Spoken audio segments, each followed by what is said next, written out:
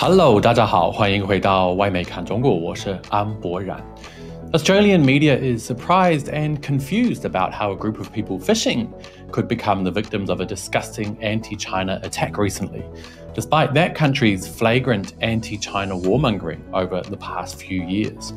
We'll take a look at a video of the attack and address the elephant in the room. Plus, the US Embassy in Sudan has conducted another shameful nighttime evacuation and left their citizens stranded, while China's embassy has begun evacuating citizens and ensures staff will remain at their posts until that process is complete. This is Reports on China. I'm Andy Boreham in Shanghai. Let's get reporting. Apologies for the minimal content over the past two weeks while I've been away in New Zealand filming the new chapter in our upcoming documentary on Rewi Alley, a New Zealander who lived in China for the last 60 years of his life and is now known as one of China's top 10 international friends. That short documentary will be out in the coming months. But now to Sudan, where tensions between that country's military and its main paramilitary force have severely escalated, leading to hundreds of deaths and fears that civil war may take hold potentially destabilizing the region. In true USA form, President Biden ordered the embassy in Khartoum to evacuate via helicopters during the night, leaving US citizens in the country stranded and having to fend for themselves. Take a look. Daring evacuation of the American embassy in Sudan. U.S. Special Operations Forces, including the Navy's elite SEAL Team 6, were involved in the planning and the execution of the operation. Roughly 100 American diplomats and their families rushed to safety, escaping the war torn country. The military using three Chinook helicopters in the middle of the night, those choppers only on the ground for about an hour during the evacuation. So, does that kind of pitiful evacuation sound familiar to you at all? A couple of previous incidents seem to be coming to mind. Remember the shameful evacuation of Vietnam in 1975?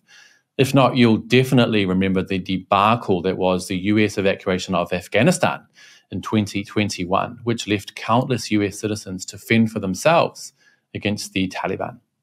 Now, in stark contrast, China's government has begun evacuating Chinese nationals and has promised their embassy will remain for as long as it takes in order to ensure that they are the last ones there. Take a look at these two videos, which show the massive contrast between US and Chinese responses to the conflict. The U.S. Embassy in Khartoum's uh, security alert on April 16 uh, stated that due to uncertainty, secure, uncertain security situation in Khartoum and closures of the airport, Americans should have no expectations of a U.S. government coordinated evacuation at this time. We expect that will remain the case. It is imperative that U.S. citizens in Sudan make their own arrangements uh, to safe uh, to stay safe in these difficult circumstances. We advise U.S. citizens to remain sheltered in place. 中国驻苏丹使馆坚守岗位，密切关注形势发展变化，为保障在当地的中国公民和机构安全，全力提供支持协助。有危险需要撤离时，使馆永远撤在最后。 外交部也将采取有效措施，保障使馆人员的安全。Well, I certainly know which government I'd rather have looking after me. This reminded me of a massive 7.5 Richter scale earthquake in New Zealand in 2016, when Chinese nationals were among the first to be evacuated by the Chinese consulate, angering some British tourists who were all but abandoned by their own government and had to mortgage their home to pay $4,000 for helicopter rescue.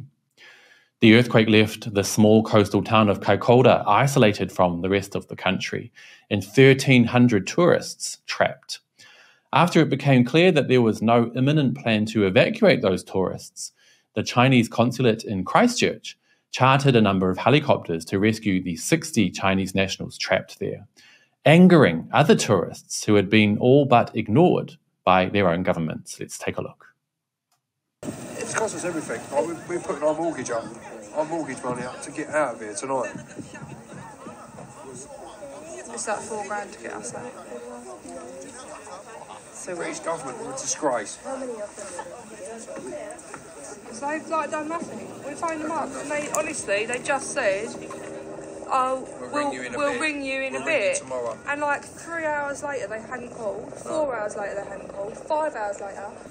Um, the Chinese embassy had employed um, a lot of helicopters to move a big group of Chinese that were here visiting Kaikoura today.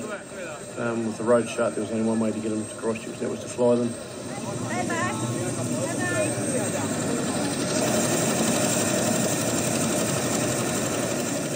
That British couple, Scott and Celine Papworth, said they worked seven days a week and saved for more than a year to go to New Zealand for their dream holiday, and that it was ruined when they realised their own government could do nothing to ensure their safety after a natural disaster.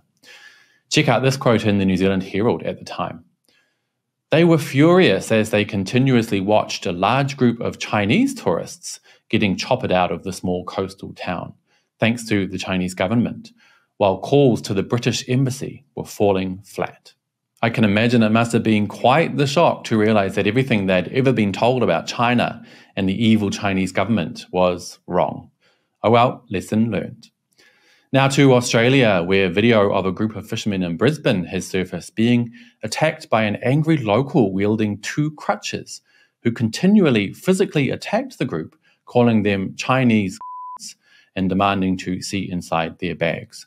Now, the infuriating thing is that Nine News Australia, who posted the video to Twitter, seems dumbstruck about how such a vile attack could happen and completely unaware that it is exactly their work, them being the Australian media at large, with the help of warmongers like the Australian Strategic Policy Institute, or ASPI, that has led to ordinary Aussies fearing Chinese people and believing their lives are literally at risk. Take a look. No, no, leave it. Go down, I said. Down, I said. Go down. Down. Stop. Oh, you. Down! Don't do that. Why? What's wrong? Down! What's wrong? What's wrong? What's wrong? What's wrong? Chinese. Go down! No, no, I'm not Chinese. You Chinese, go okay. down! We're, going home. We are going You're not going home, you're going.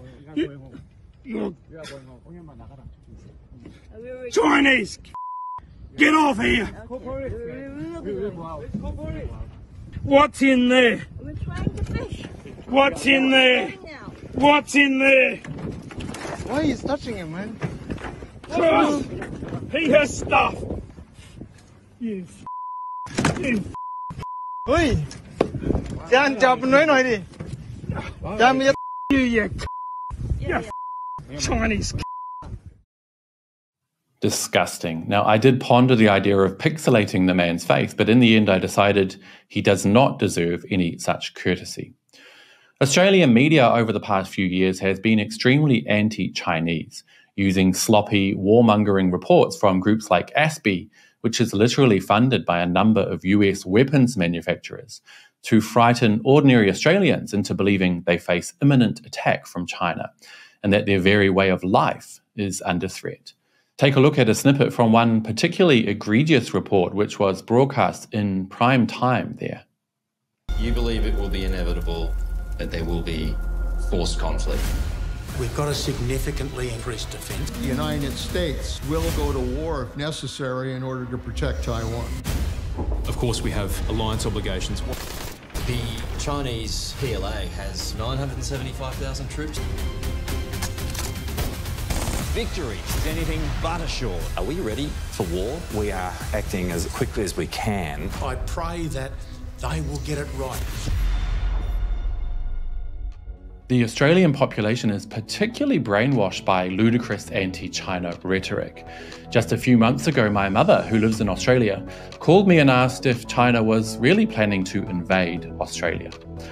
The propaganda is so strong, and ordinary people are too easily swept up by it. The only way to stop hideous attacks like the one that group faced in Brisbane recently is to stop lying to the Australian population.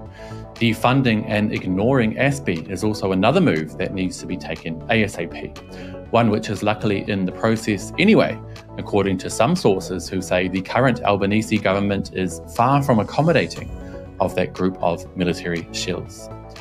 Anyway, that's it for today, you guys. As always, I would love to hear what you have to say. Please let me know down below and don't forget to hit like and subscribe if you haven't already. I'll see you all next time. Bye bye.